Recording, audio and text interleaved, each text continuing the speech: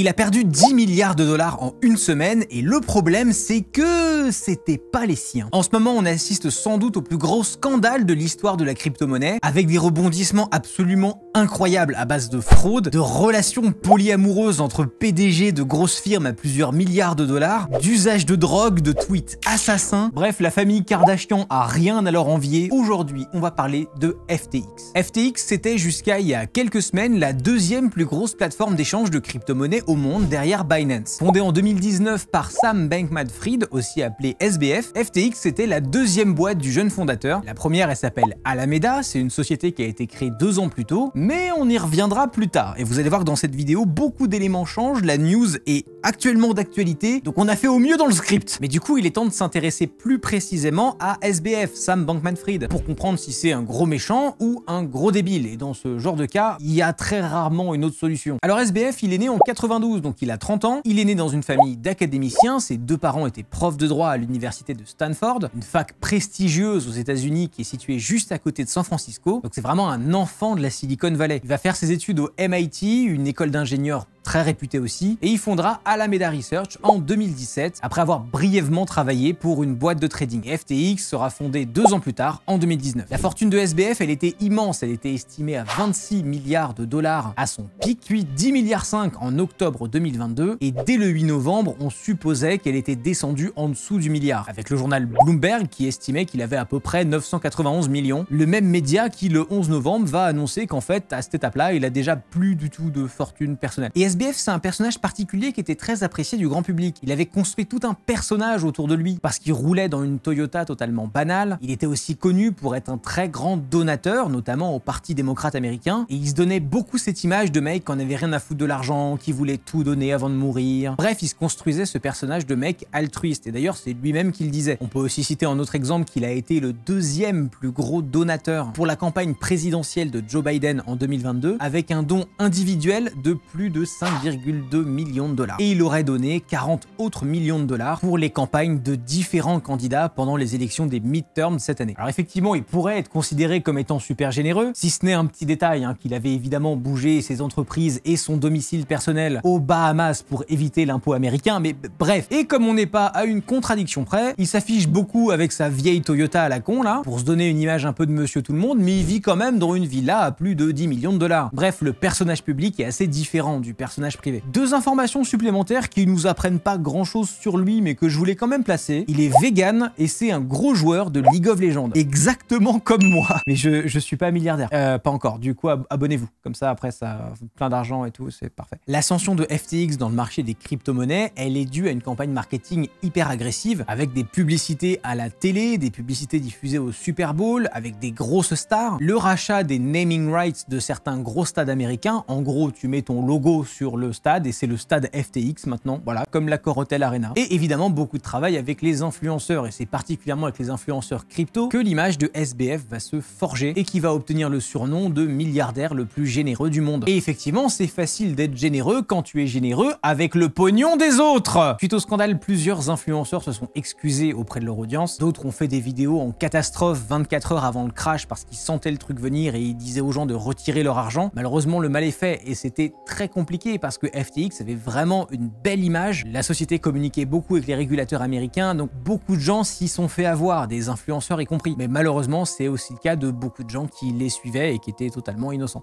En fait, toute cette histoire, en vrai, elle commence il y a un petit moment. Elle commence quand SBF s'attire les foudres de plusieurs rivaux, notamment un rival de taille, Chen Penzhao, aussi appelé CZ, le patron de Binance, qui est devenu son grand ennemi quand SBF s'est mis à militer auprès des autorités américaines pour des changements de régulation à l'égard des crypto-monnaies qui allait dans son sens et qui allait un peu désavantager ses concurrents. Pour ceux qui suivent un peu ce monde-là, la rivalité des deux PDG, elle est très connue et les deux hésitent pas à s'envoyer des petites piques sur les réseaux, hein, comme par exemple début novembre, où suite à une invitation de CZ à Washington, SBF a demandé dans un tweet datant du 29 octobre qu'il a maintenant supprimé si CZ sera bien autorisé à y mettre les pieds. Parce que CZ, comme son nom l'indique, est d'origine chinoise, très classe. Et vous allez voir qu'il va récolter ce qu'il a semé, puissance 1 milliard. Suite à ce tweet, et quand le site de news Léo monde des cryptos Coindesk publie un article qui suggère une potentielle insolvabilité dans la boîte de SBF, CZ il se fait pas attendre pour publier l'information largement, avec évidemment ses inquiétudes hein, concernant la boîte de son concurrent numéro 1. Ça a créé une première vague de rumeurs et un début de bordel.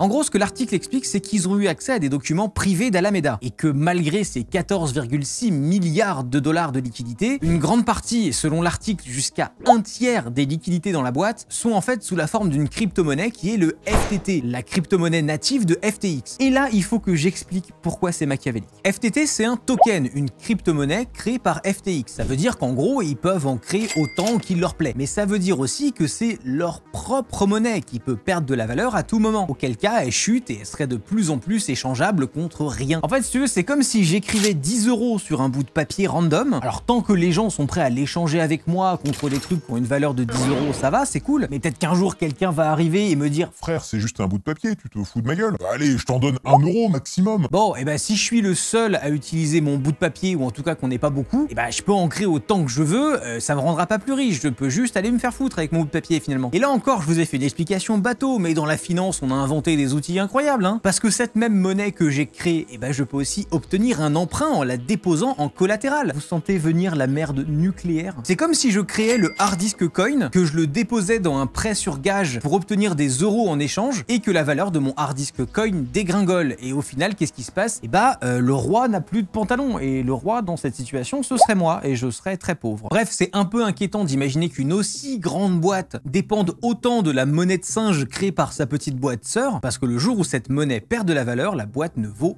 plus rien. Du coup, tout le monde s'inquiète un peu de savoir si Alameda a des liquidités et de qu'est-ce qui se passerait si tout le monde décide de vendre sa crypto-monnaie FTT en même temps. Est-ce qu'ils peuvent donner des dollars en échange aux clients? Est-ce qu'ils les ont? Parce que même si à l'instant T, ils ont l'équivalent en valeur, c'est pas garanti. Et si le cours du FTT vient dégringoler, c'est la merde, comme on dit en termes techniques. Et à ce moment de l'histoire intervient un fun fact. Est-ce que vous savez qui est l'un des plus gros détenteurs de tokens FTT sur le marché? CZ, le président de Binance. Bonsoir. Parce qu'il avait racheté une partie de FTX à ses tout début et que SBF lui a racheté ses parts de l'entreprise en lui payant du token FTT. Du coup, CZ il se retrouve avec l'équivalent de 2,1 milliards de dollars en token FTT. Encore une fois, en termes techniques dans la finance, on appelle ça avoir les couilles de son adversaire entre ses mains. Si CZ décide de vendre ses FTT, il va créer un mouvement de panique et le FTT va s'effondrer. Hein?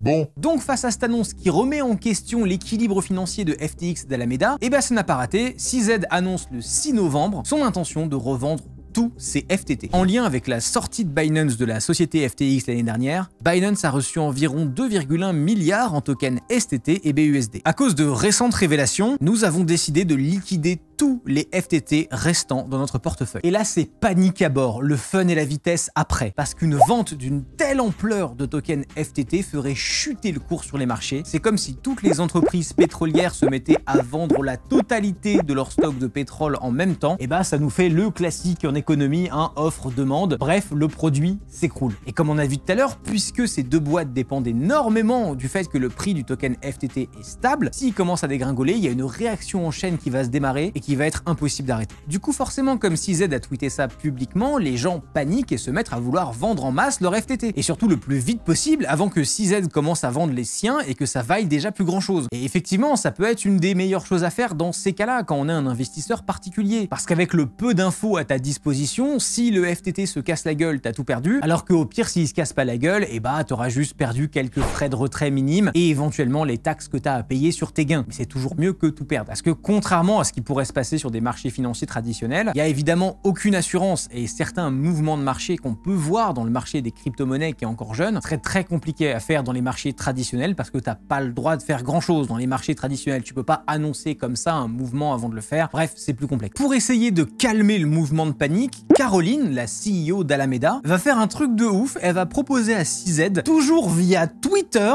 de racheter l'entièreté des tokens FTT qu'il possède au prix de 22 dollars par token, qui était le prix du marché marché à ce moment-là. Elle va aussi essayer de rassurer le public en disant que les rumeurs d'insolvabilité qui étaient basées sur des documents qui avaient fuité, ces documents étaient en fait assez anciens, que depuis la plupart de leurs prêts avaient été remboursés et qu'ils avaient encore 10 milliards de liquidités qui n'apparaissaient pas dans ces documents. C'est un move assez intelligent que je dois encore expliquer. À ce moment-là, pour éviter la catastrophe, ce que Caroline propose, c'est une offre OTC ou over the counter, par-dessus le comptoir. Concrètement, ça veut dire passer un ordre d'achat ou de vente en dehors du marché public. L'intérêt de ça, il est clair. Si jamais tu fais un deal à pair avec quelqu'un, ton deal ne va pas s'imprimer sur le graphique du prix public puisqu'il est en dehors du marché. Alors que si 6Z se décide de vendre sur le marché public, on va avoir une bougie rouge énorme et ça va créer le fameux mouvement de panique. Bref, elle essaye d'éviter au maximum la catastrophe. Et évidemment, 6Z euh, étant un petit malin, il refuse il sait très bien à ce moment-là ce qu'il est en train de faire. 6Z, si tu veux minimiser l'impact sur le marché qu'aura ta vente de FTT, Alameda te les rachète tous sans aucun problème aujourd'hui à 22 dollars le token. Liquider nos FTT fait simplement partie de notre stratégie de gestion de risque depuis qu'on est sorti de FTX. On les a soutenus par le passé, mais on ne va pas faire semblant de s'embrasser après le divorce. Nous ne sommes contre personne, mais nous ne soutiendrons pas des gens qui font du lobbying contre d'autres entreprises de l'industrie derrière leur dos. Bref,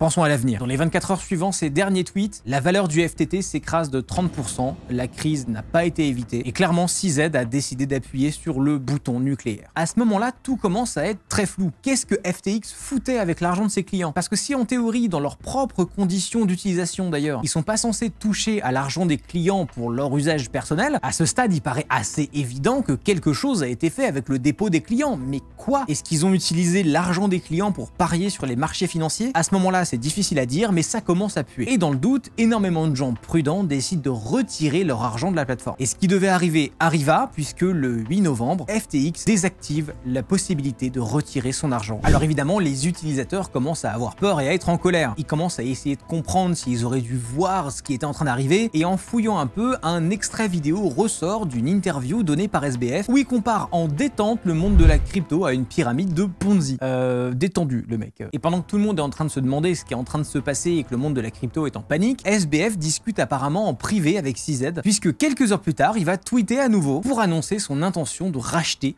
FTI. Alors c'est extrêmement inattendu et ça parle plus que n'importe quel chiffre sur la situation apparemment catastrophique dans laquelle se retrouve FTX. Dans l'annonce, CZ parle d'un accord de principe trouvé avec SBF concernant l'achat de la plateforme et donc aussi de ses actifs pour essayer de la faire remonter. Le soulagement va être énorme, surtout de la part des petits investisseurs particuliers. Tout le monde se dit allez c'est bon, la boîte va pas se casser la gueule finalement, qui est une très bonne nouvelle puisque comme les échanges de crypto-monnaies n'ont pas exactement les mêmes assurances que ceux des banques traditionnelles, en cas d'insolvabilité ou de manque de liquidité pour le client particulier, il ne lui restera plus qu'à aller cueillir des champignons dans un pays dans lequel les champignons ne poussent pas. Mais bon, c'est pas forcément que une news positive, hein, ça pose aussi pas mal de questions de concentration des pouvoirs. Je veux dire, Binance est déjà le numéro 1 dans son domaine, et s'ils absorbent le numéro 2, ça va devenir un espèce de super pouvoir dans le monde de la crypto, et ça risque d'être un peu risqué de laisser autant de pouvoir à une seule gigantesque boîte. Hein. Déjà que normalement, dans ces crypto-monnaies, l'intérêt c'est la décentralisation, le fait que les gens peuvent garder leurs propres actifs et pas forcément les déposer sur un échange centralisé. Si tu veux, là, on serait très très loin de l'idéal de Satoshi Nakamoto qui a inventé Bitcoin en 2008 suite à la faillite des banques. Bref, pour le moment en tout cas, ça apporterait de la nouvelle liquidité qui permettrait de sauver les petits clients. Donc en vrai, dans l'immédiat, pourquoi pas? Et c'est malin de la part de 6Z, on ne saura jamais s'il a fait exprès ou pas, mais entre la diffusion de la rumeur, l'installation un peu du doute chez tout le monde, et le fait d'arriver après en héros en mode je vais vous racheter, tout ira bien, on te voit frérot.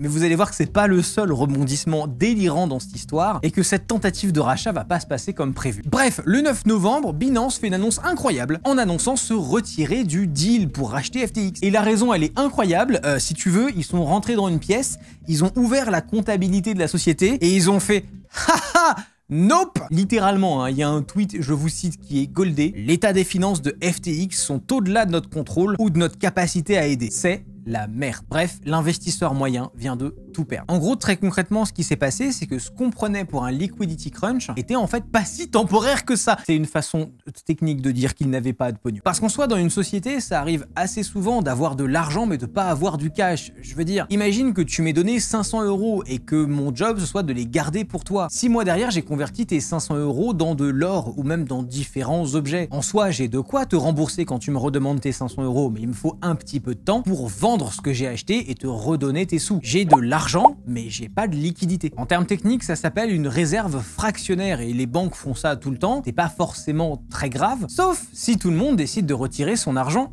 en même temps. Parce que du coup, ben, c'est impossible de rembourser tout le monde en même temps, il n'y a pas les liquidités, il faut du temps pour les trouver. Et dans ces cas-là, si on n'y arrive pas, on peut avoir quelqu'un comme Binance qui dit bon écoute, je prends le tout pour 5 milliards, même si ce que t'as en coffre ça vaut 8 ou 9, au moins je te sauve de ton problème instantanément, je me démerde pour les vendre et ça t'évitera une crise. C'était ce que proposait CZ. Ça c'est dans le cas d'un manque de liquidité, mais là c'est pire. On est passé de euh, oui on a de l'argent mais pas sous forme de cash, on va se démerder à en fait on n'a pas d'argent. Un là concrètement on lui a donné du et il s'est acheté des pizzas avec qu'il a mangé, y a plus. Bref, quand t'es insolvable, c'est que t'as pas l'argent du tout sous aucune forme. Et visiblement, c'est ce que les yeux ébahis de Binance auraient découvert en ouvrant les comptes de FTX, et ce qui du coup les a poussés à annuler leur offre. Le même jour, les articles continuent de pleuvoir, et on apprend que malheureusement, comme souvent dans ce genre de cas, des particuliers avaient placé toutes leurs économies dans FTX et considèrent le suicide. On est au cœur de la crise, ça commence à toucher les gens du quotidien, et c'est pas beau à voir. Pendant ce temps-là, SBF, il aurait demandé à plusieurs entreprises de la Silicon Valley d'investir de l'argent dans une levée de fonds en urgence à hauteur de 9,4 milliards de dollars levée de fonds qui va foirer complètement et finir d'enterrer FTX. Et SBF, comme c'est un homme moderne, il continue à tweeter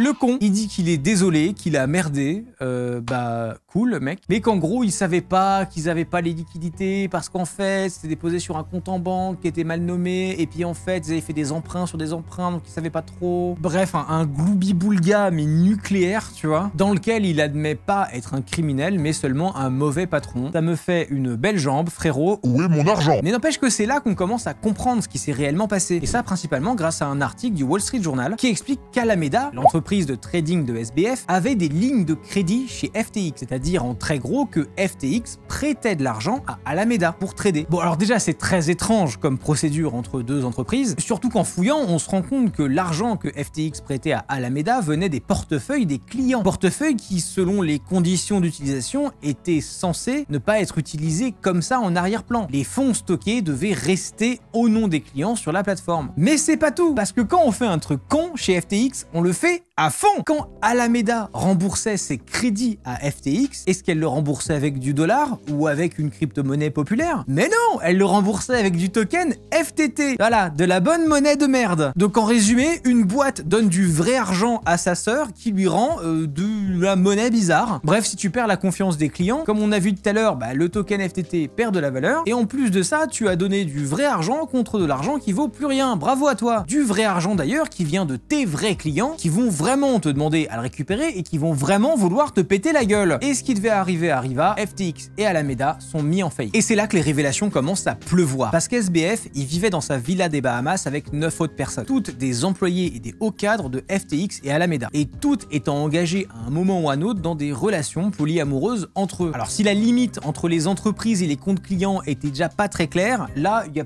plus de limites. On peut parler de la CEO d'Alameda Research notamment, la fameuse Caroline Ellison que SBF a rencontrée dans une autre entreprise de trading. Et bah elle notamment est en relation avec SBF pendant un bon moment. Et c'est lui qui l'a placée à la tête de la boîte de trading alors qu'elle avait pas plus d'expérience que lui après la fac et absolument aucune expérience de manager ou de PDG. Dans un tweet d'avril 2021, Caroline avait d'ailleurs déclaré Il n'y a rien de tel qu'un usage régulier d'amphétamines pour comprendre à quel point beaucoup d'expériences humaines normales, c'est-à-dire sans médicaments, sont débiles. Et de façon générale, à ce moment-là, on apprend que tous les membres de la Villa du Soleil, là, ils aimaient bien se shooter et ils encourageaient les nouvelles recrues à faire d'eux-mêmes, parce que pourquoi pas? Ça, ça nous vient de témoignages d'anciens employés qui nous disent, entre autres, en tant que nouveaux employés, on nous a énormément conseillé d'utiliser des drogues stimulantes. Sam nous a même fait un cours sur les drogues stimulantes en nous décrivant les effets des unes et des autres. Il nous avait dit de toutes les essayer et de voir lesquelles marchaient le mieux pour nous, avec lesquelles on se sentait le mieux productif. Sam, il utilisait même un patch pour s'injecter des drogues qui faisaient faire custom pour être constamment drogué à tout moment. Là, là l'histoire prend un tournant Netflix. On apprend aussi par Reuters que FTX aurait secrètement bougé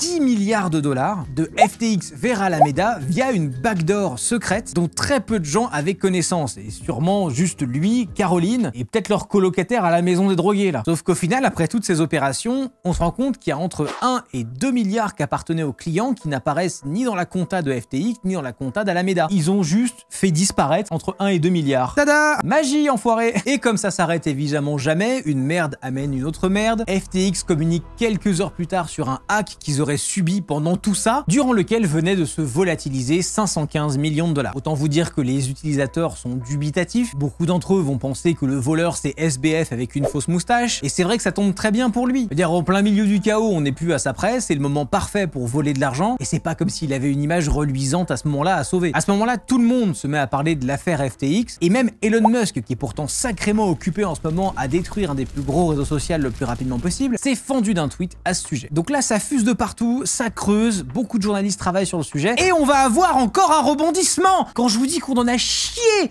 à écrire ce putain de sujet, c'est pas fini, et ça part dans tous les sens. Parce que les journalistes, ils vont trouver quelque chose de très intéressant, qui concerne des liens pour le moins étranges entre FTX et la SEC, la Securities and Exchange Commission aux États-Unis, c'est le gendarme des marchés financiers. On nous apprend que Gary Gensler, le président actuel de la SEC, était en fait un collègue du père de Caroline, qui était lui-même son supérieur et son ami proche. On apprend même que des mails ont été échangés entre SBF et Gary Gensler, mails qui contiennent très clairement des messages qui montrent que la SEC était au courant qu'il y avait des irrégularités concernant FTX et qui comptait volontairement les passer sous le radar. C'est du On apprend aussi que Sam, qui s'affichait démocrate, faisait en réalité tout autant de dons au parti républicain, juste il en parlait pas, parce que, je cite, il voulait préserver une image positive auprès des journalistes qui considèrent très proche du parti démocrate et qui aurait pété un câble, c'est ses propos, s'il avait donné ouvertement de l'argent au parti républicain. Actuellement, le département de la justice américaine enquête sur les 10 milliards de dollars qui provient de fonds clients et qui auraient été donnés comme prêt à Alameda Research, et Sam a été placé sous surveillance policière aux Bahamas pendant que les États-Unis envisagent une extradition afin de l'interroger. Mais pour l'instant, tout a l'air de plutôt bien aller pour lui, hein, puisqu'il a été invité à une conférence du New York Times, conférence dans laquelle il a été applaudi. On n'est pas dans la mer. Et si ces sujets vous intéressent, allez voir ma vidéo sur Silk Road.